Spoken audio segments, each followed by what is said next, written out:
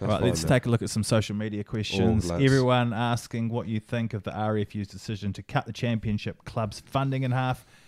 What do you think? What would you guys do with the championship? shocking. I it's not necessarily that they've cut the funding; it's the timing. Like you, you look at the, c- you know, and I, I've looked a little bit into it. Played for Nottingham hashtag the, the green and white hoops, um, and a load of other players have, have come through the championship. Is there a club that you don't know the hashtag of?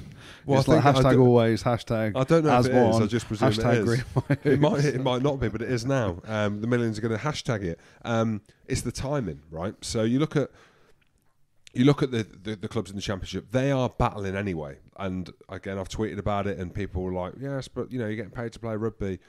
Like playing in the championship is playing at the coalface. So you you're getting paid minimum wage I for play, the in- I majority. play, I play in the championship. Not for minimum wage. um, you get you're not getting paid a lot of money. I'm telling you now for what you're doing. Rugby is a tough, tough sport, and a lot of them players in the championship are professional. They are. Some of them will be professional. Some of them will be coaching on the side, and to have the funding cut, they're already underfunded. Like they absolutely are. The amount of games that they play, the travel that's involved. Um, you got to think it's not just the players. It's the, the strength and conditioning. It's the chef. Um, it's the kit man. It's you know the coaches. Like it, it's it's collect. I just can't believe that they've cut at this time of year. Like Nottingham came out and said they've already started signing players Yeah. for next year. So it's like, well, hang on. Well, no, we can't actually afford these players now for next year because you know they want maybe a little bit more money, or we're trying to add quality, or we want to go go up the uh, the leagues, or we want to try and compete with Saracens and keep it under eighty. Um, Yeah. it's it's It- ridiculous. the, the interesting thing, like, people are saying, "Oh, you know, it's going to be it's now ring fencing." The two hundred and sixty grand or whatever it is they've cut isn't going to stop a team's ambition of trying to get promoted because it costs. And Rob Baxter said it on Friday night. It costs millions. So you've either got the will and the desire to, as an owner, to get your team in the Premiership, as Tony Rowe did many many moons ago at Exeter. You know, since then, pretty much it's been. I think they said something like the last five or six years, it's been the same team who got relegated, bouncing straight back up.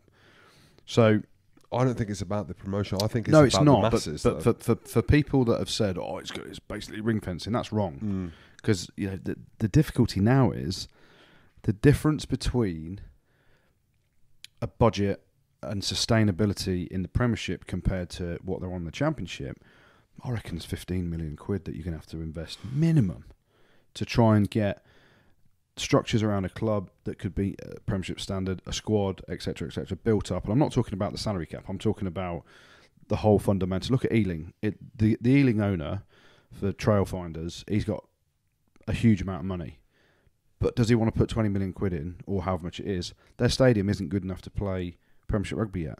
So the cost of that. So it's not just about a playing squad, it's everything around it. And so the 260 grand that the RFU are cutting isn't going to prevent a team getting promoted. But like Jim says, it affects people's lives. And in, reality, and a lot of the championship clubs do have a very strong argument that the RFU keep all the money that's generated from that championship, so the sponsorship rights, the TV rights, a lot of other stuff around it, and then they distribute it to the clubs as they see fit. And I don't know the full ins and outs of it, But, but, but why? whereas PRL, Premier, Premiership Rugby Limited, run the Premiership. But I don't. I just don't get why the last last minute. It is last. Yeah, minute. no, that, that's the Well, thing. But And there's, it's, there's there's, nothing. there's new people at the helms. There's a new CEO. Obviously, um, Conor O'Shea's gone in there with his role as there's well. performance.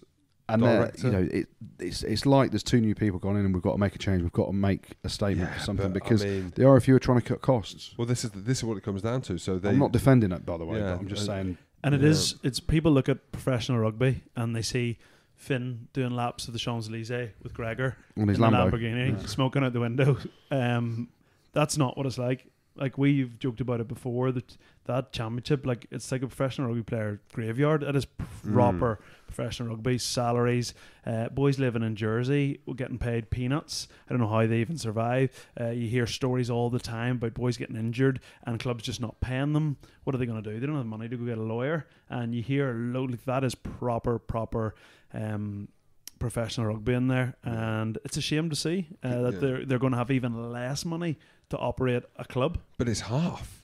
This is like I just I- I, just don't get it. Like the RFU, okay, if there is a money issue or they need to make changes, and you know that maybe they want to invest in the women's game, great. If that's what the, the road that they want to go down, but I'm just like literally the foundations, right? is it the foundations of grassroots rugby?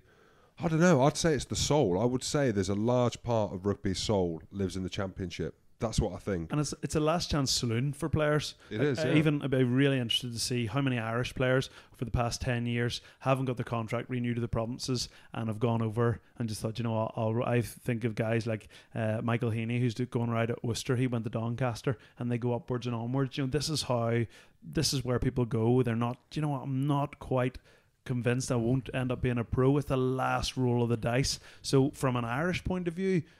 It would be sad to see it sort of dwindle even further. It's like Ian- uh, Ian Whitten and Yeah. Steenson.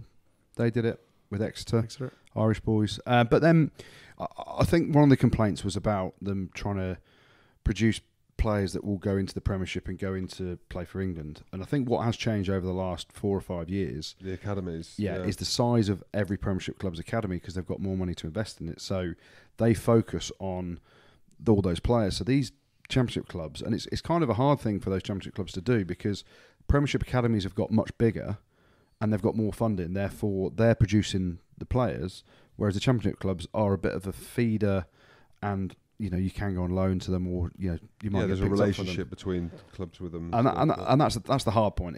Those Championship clubs don't have the funds to have a big academy. Whereas if you're a 16 year old kid who's pretty decent and you live in Bedford, you're thinking I'm going to go to Northampton Saints Academy. You're not thinking Bedford Academy, are you? no. And that's the you know that's where it's very unfair, I think, on the Championship. I just don't think. I just don't know where it's going. Like that's the thing. So they've lost half the money, and who knows?